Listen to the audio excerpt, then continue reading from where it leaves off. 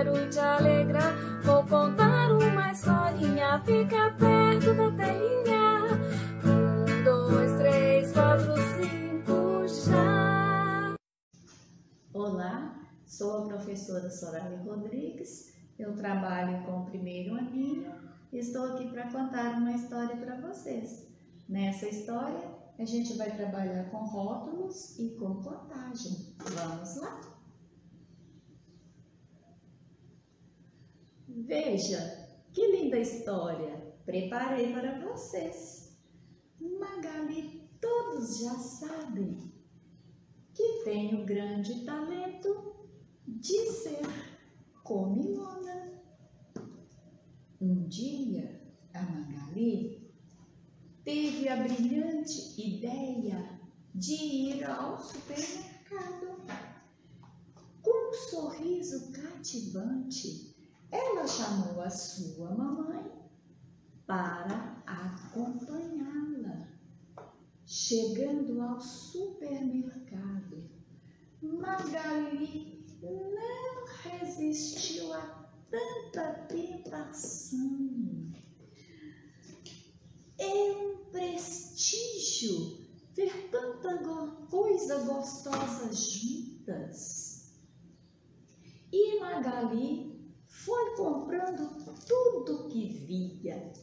Comprou um, comprou dois, comprou três, comprou quatro e comprou mais um para completar cinco. Era tanta gostosura que os olhinhos da Magali brilhavam mais que diamante negro. Tanta gostosura vale mais que ouro branco. Mas a mamãe, já preocupada, foi logo avisando. A gatinha, que bom que você está feliz, mas não podemos comer tanta coisa gostosa toda de uma só vez. Vamos acertar as nossas contas, ir logo para casa e dividir essas guloseimas. Magali, muito obediente, começou a pensar nos coleguinhas. Cebolinha, Mônica, Cascão e o Chico Lento. Magali começou a divisão. Um bombom para Magali, um bombom para Cebolinha, um bombonzinho para a Mônica, um bombonzinho para o Cascão, um bombonzinho para o Chico Bento. Mas aí, Magali teve outra ideia.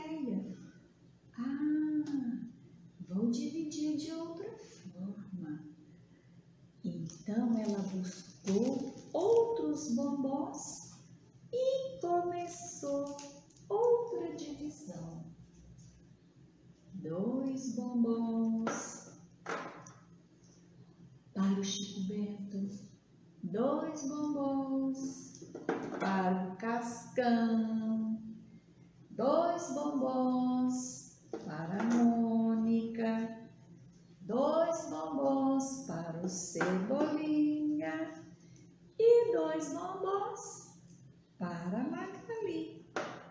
Dessa forma, ela descobriu como se conta de dois em dois. Vejam só.